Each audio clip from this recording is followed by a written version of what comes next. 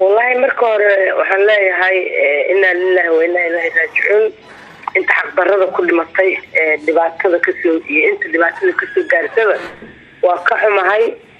Runtii waxaan baaq u dirayaa in la joojiyo dagaalada sokeeye ee dadka ehelka ah ee wada dhashay ee isku deegaanka ah ee aan kala guureynin oo aan ahayn safar isdhex maraaya ee aan ahayn laba magaalo oo maaragtay ama kala fogo isku soo duulay dadku waa dad wada yaalla oo wada degan ilaahay weynaa. Marka horeba uu siiyey deegaan barwaaqo ah ee haddana ka dhigay dad wada dhashay. Isku diin ah isku midaba isku af ah ehel wada ah wiil iyo ah kuwii garabka iska dhigan lahaa wada ah. Haddana maalin walbaba colaada hirshabeelle ama cadale iyo nawaaxigiisa way soo laalaabataa in maalin walbaba sidii biyihii weliba ay soo bitaacayaan oo maalin walba meel u burqadaan waa ceeb in dagaalka la joojiyo. Waxaan ugu baaqayaa dagaalka inay joojiyaan. Xabad wiil unbaa ku dhintay wiil kuma dhasho. Hirshabeelle waa deegaan aada u weyn. Waa magaalo nabadeed dadkooduna ay ahaayeen dad nabadeed. Waa nasiib daro sanadihii hadda ugu dambeeyey waxay cadaysteen in la isdilo oo maaragtay dadka xoolo dhaqatada ama isdilaan ama dadka deegaanka ama eelka waa la yaqaanay ama ceelasha la ysku tumo. Balse hadda waxaa la keenay in guryihii la gubo oo ceelashii la xabaalo oo dadkii a umooda cadaawada isku qabaan falastiin iyo israael ayaa waa istumaan. Laakiin nolosha asaasiga iskama baabi'iyaan waa hadda waa yuhuudda iyo falastiinta maxaa diidaya dadkan wada nool haddii la isdagaalay ceelka maxaa loo aadayaa? Guriga maxaa loo gubayaa maxay tahay sababtaas waa garan laana haddaan nahay haweenka soomaaliyeed gaar ahaan ehelkeena dadka ka soo jeeda deegaanadaas waxaan ugu baaqaynaa hala joojiyo. Waxaan leenahay hala joojiyo. Waxaa dega dhulkaas beelweynta mudulood waxaa dega gaar ahaan abgaal. Waxaan leenahay xildhibaano. Waxaan leenahay sanataro beelweynta mudulood u dhaartay lagu doortay hirshabeelle waxaan leenahay madaxweynaha dowladda ee hirshabeelle cali guudlaawe. Mudane madaxweyne colaadan ciidan kala dhex dhig ha soo qabo tiirka hala keeno waa la xallin waaye madaxweynaha jamhuuriyaddaa tegey madaxweyneyaasha hore ayagoo ay tageen hadduu tegey mar walbaa la tegey waa ceeb iyo fadeexad iyo foolxumo mar walbaba na hortaallo kama baaqsan karno. Waxaan leenahay joojiya joojiya dagaalkaan leenahay. Marka maamo jawaahir maxay kula tahay dagaalada noocan oo kalea waa ay ku soo laalaabteen deegaanadaasi iyo labada beel ay wada dhashay waxay ila tahay aniga inaanay dhaqanka iyo iyo dadka galay xaajada. Inay sida saxda aan loo gelinin.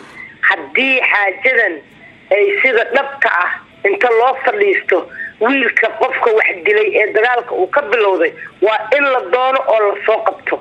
Waa in tiirka la keeno. Waa sababtoo ee nafta nafta goyso. Ilaahayaaba qur'aankiisa ku sheegay in qofkaas loo qasaaso oo loo dilo.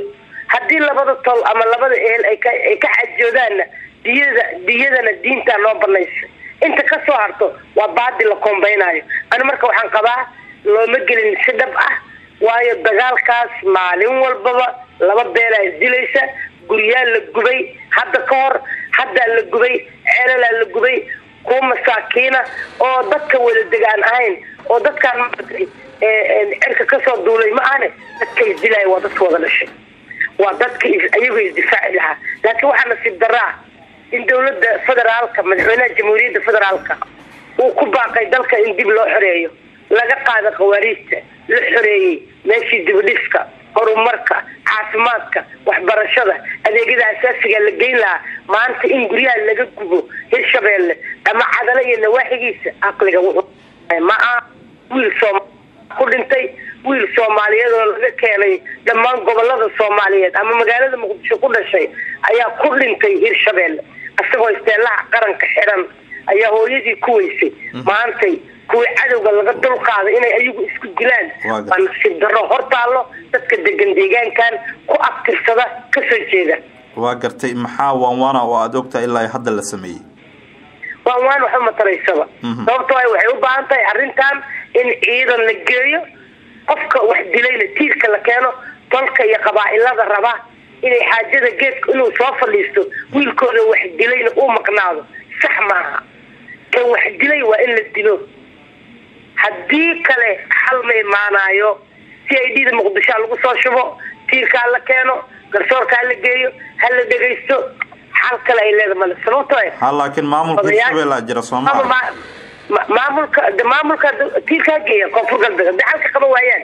Waa midda u furan dawladda federaalka laakiin madaxweynaha dawladda hirshabelle state madaxweyne cali guudlaawo xuseen waxaa ku horyaalla xaajo adag oo kaaga baahan inaadan u jixin jixin kan gardaran aadan u joojin.